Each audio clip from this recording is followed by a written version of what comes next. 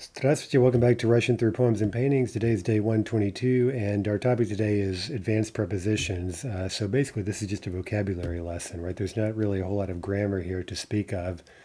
Uh, we just want to learn some uh, more advanced prepositions. And, you know, of course, we know a lot of prepositions already, uh, but just some very basic meanings, a lot of which are spatial, right? So, like in, um, above, below, behind, in front of, right? And then other ones like about, right? So some pretty basic prepositions. And we know in terms of the grammar that the only thing really to know about them is what case they take, right? So for example, or, meaning about, is followed by the prepositional case, right? So same thing today. We're just learning new prepositions, learning what, what they mean, what case they take, and that's really um, about all there is to say uh, about them.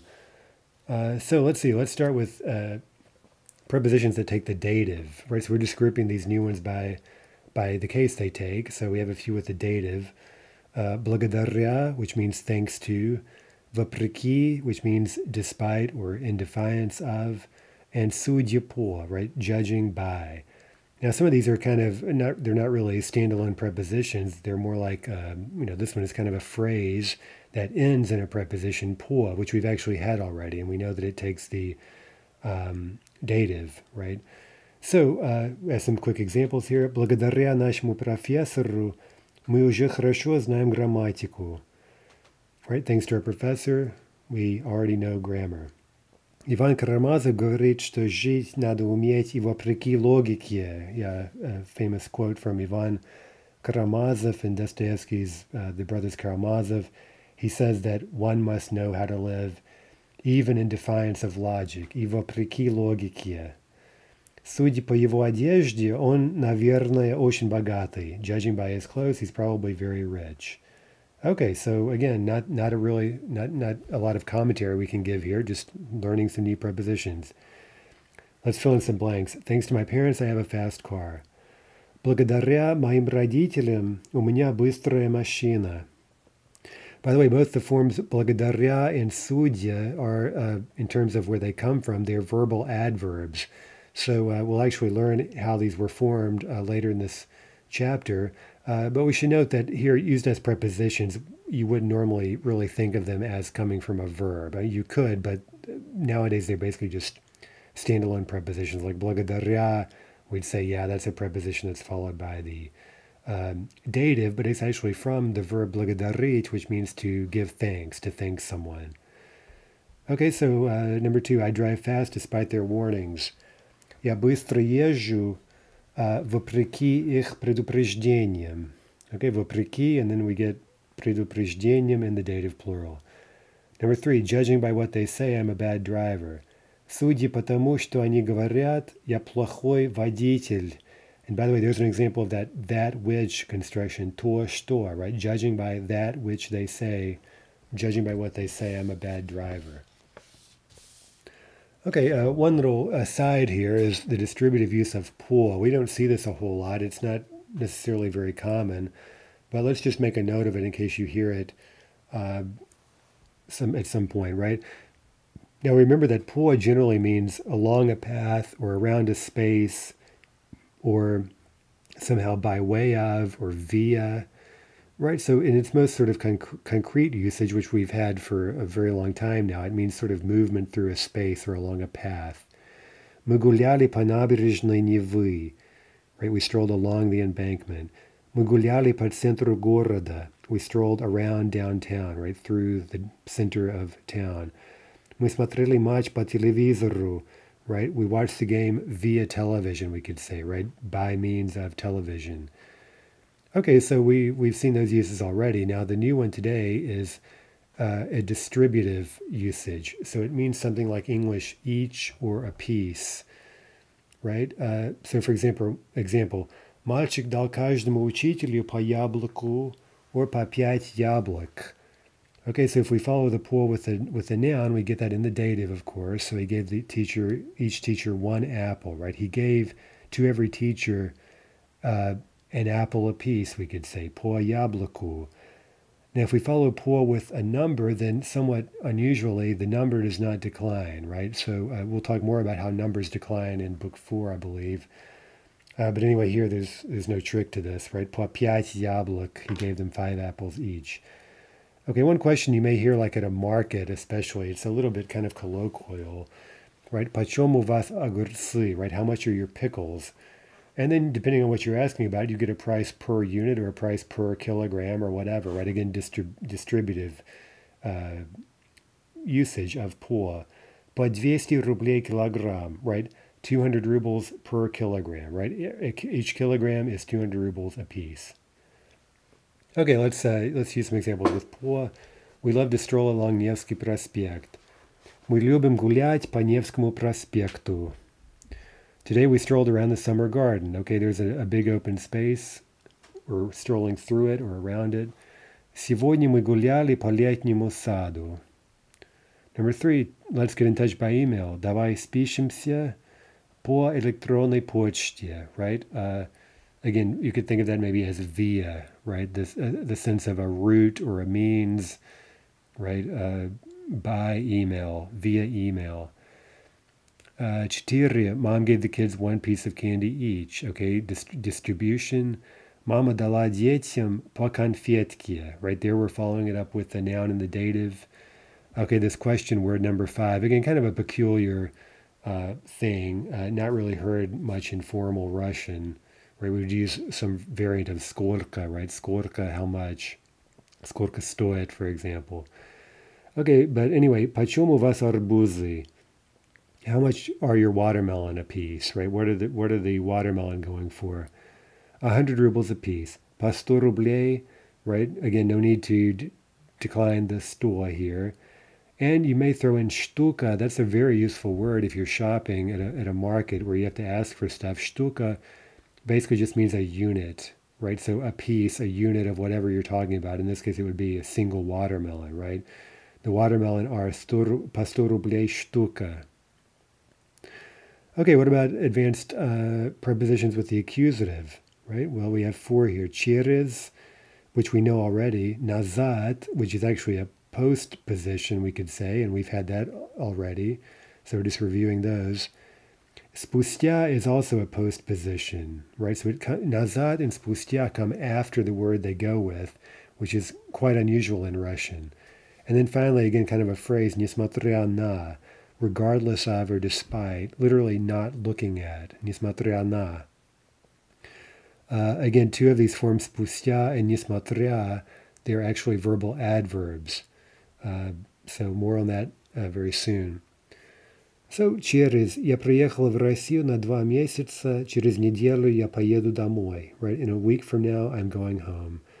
Я приехала в Россию неделю назад, я уже привыкла к жизни здесь. Okay, I arrived in Russia a week ago. And again, note how the nazat is coming after the noun and the accusative there. Ее муж пропал на войне, Пять лет спустя она узнала, что он погиб. Right, her husband died in the war. Five years later, again, here the спустя is coming at the end, after the noun. Она узнала, что он погиб. Finally, несмотря на все трудности, она рада, что приехала в Москву. Right, despite all the difficulties, literally not looking at all the difficulties, she's glad she moved to Moscow. Okay, let's fill in a few blanks. We arrived a month ago. Мы приехали месяц назад, месяц назад. Uh, in a month we'll go home. Okay, in a month from now, через месяц мы поедем домой. Да, через месяц поедем домой. Two, despite the bad weather, we set out for the dacha. Uh, несмотря на плохую погоду, мы поехали на дачу.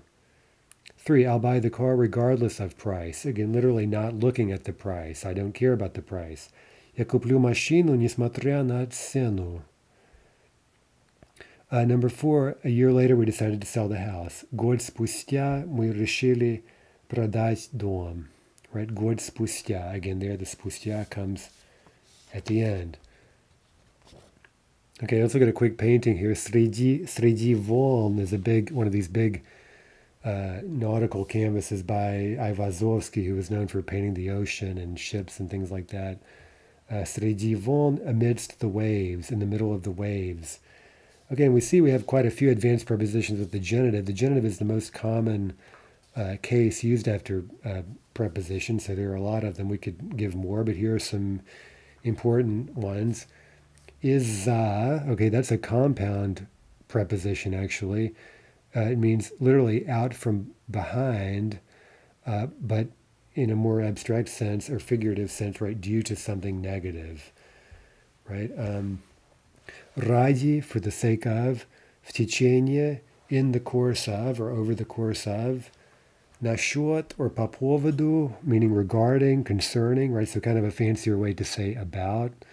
Вокруг, meaning around. Среди, among or amidst. And вместо, in the place of, literally, instead of. Um, finally, we have two others uh, that are often confused. Vidu means in light of, or literally inside of. And иметь в виду, again, kind of a phrasal verb, really, to keep in mind, right? And note that there's a difference in spelling there. Um, but obviously, the, the, the, terms are related, but they, they are different, and uh, people ought to confuse the spelling. Okay, so let's read through the examples. Um, Из-за высоких цен мы не могли купить квартиру в центре города due to high prices. Okay, and watch for all the genitive endings after these uh, prepositions. Он делал бы все ради жены и детей. He would do everything or anything for the sake of, ради. Режиссер снимал этот фильм в течение пяти лет. He shot the film imperfective verb over the course of five years, right? Or we could say he spent five years uh, filming, uh, shooting the film.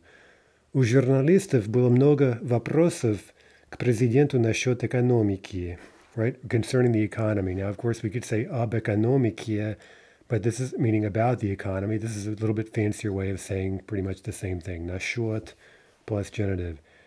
Фанаты, которые не достали билеты, стояли вокруг стадиона. They were standing around the stadium.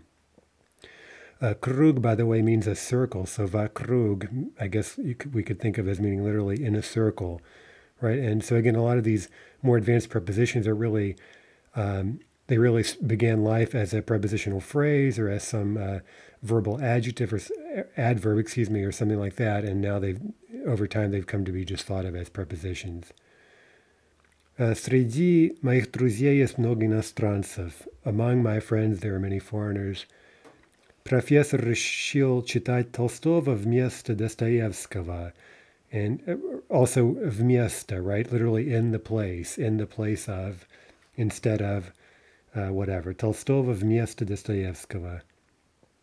Finally, these two that may be confused. Ввиду экономических обстоятельств банк решил не открыть новый филиал right, in light of economic circumstances, uh, genitive plural there. Что ты имеешь в виду? Объясни. Right, what do you have in mind? What do you mean? Надо иметь в виду, что билеты дорогие, right? One must keep in mind uh, that the tickets are expensive. Okay, one topic we'll have to watch for, especially as we, we begin reading, uh, right? Uh, you know, what happens if we want to follow up one of these prepositions not with simply a noun, but with a verb, uh, you know, with, with some activity that's expressed using a verb? Uh, well, the first example we'll see today is, is somewhat uh, peculiar, right? We say вместо того, чтобы, right? So that's kind of a, we could kind of learn that as a kind of stock expression, right? Вместо того, чтобы. But we already get some idea here of what we'll see uh, happening generally, right? Uh, think of think about why this is an issue, right? If we want to follow a preposition with a verb, well, a verb doesn't have case, right? So if we say, well, vmiesta requires the genitive, well, how are we going to put a verb into the genitive, um, right? So basically, what we need is some little uh, something or other to kind of take the place of the verb or precede the verb and indicate case. Uh, and we see that that role is generally going to be played by to, right? To, which we've been practicing a bit lately right, in yesterday's lesson, right? Uh, so we say вместо того, чтобы пить чай, она пила кофе, right? Now compare that to она пила, она пила кофе вместо чая, right? Um, there we're, we're following вместо simply with a noun, so that's easy, right? We just put chai into the genitive. But if we want to say instead of drinking tea, we have to use this little construction вместо того, чтобы пить чай, она пила кофе, right? Uh, okay, so anyway, let, more on that uh, topic here in a moment. Let's just fill in some blanks. Let's take a trip around the world. Давайте поедем вокруг света. Вокруг света. Again, genitive endings everywhere here. The match was canceled due to rain. Футбольный матч отменился из-за дождя. Из-за дождя. I'm eating a salad instead of cake. Сегодня я ем салат вместо торта. Uh, Четыре, the president spoke concerning taxes, here, here in the plural, right? Налоги, masculine plural. Президент говорил насчет налогов. Налогов. Take off your coat for God's sake. Сними пальто ради Бога. Uh, шесть, this organization works for the sake of peace. Эта организация работает uh, ради мира, ради мира. Семь, there were many students among the crowd. Было много студентов uh, среди толпы, среди толпы. Uh, восемь, keep in mind, имей в виду, right, and watch the spelling on that. Имей в виду, что бар закрывается в час ночи. Or plural, right, would be имейте, right? Hey, everyone, keep in mind. Имейте в виду. Okay, девять. Okay, now here, instead of going to Russia, so we've got an activity, a verb, not simply a noun. So we need to use the construction вместо того, чтобы поехать в Россию. Right? Вместо того, чтобы поехать в Россию, мы остались дома. Okay, let's um, look at a few other prepositions. Uh, I think we've seen all of these already. And again, look at how we add verbs after them, right? Again, we here, now again, what we just saw with miesta was somewhat peculiar where we got stobe. Typically, we'll simply use to stor, right? That to stor construction, uh, that which, or the fact that, right, that we uh, introduced yesterday, right? So again, the to is showing the case required by the preposition, and then we just have a что clause with the verb that's uh, following it, right? Благодаря тому, что мы рано встали, мы успели сделать все. Right? So thanks to the fact that we got up early. And again, you see how often the to что can translate nicely into English using the fact that. Uh, судя по тому, что он говорит, он действительно невиновен. Right? Judging by what he says. Okay, there, the to что works out nicely with that which, right? That which. Uh, несмотря на то, что мы друзья, я не могу ему в этом помочь. Uh, right? Despite the fact that we're friends, I can't help him in this matter. Now, there we don't have a verb because the есть is understood, right? So we have a, a full clause there, right? Despite the fact that we are friends, but here we, we drop the verb in Russian. Из-за того, что у нас не было теплой одежды, мы почти замерзли right? Due to the fact that we didn't have warm clothes, we almost froze to death. Again, to что, the fact that is the tavo. The tavo is showing us the genitive after is Okay, let's see. Let's do a couple of examples. Despite what they say, they'll probably help us. Uh, okay, uh, несмотря на, right? That's going to take accusative. So несмотря на то, что, and now we just need our verb, right? They say. So present tense. Несмотря на то, что они говорят, они нам, наверное, помогут. Два, due to the fact that we arrived by air late, okay, our flight arrived late.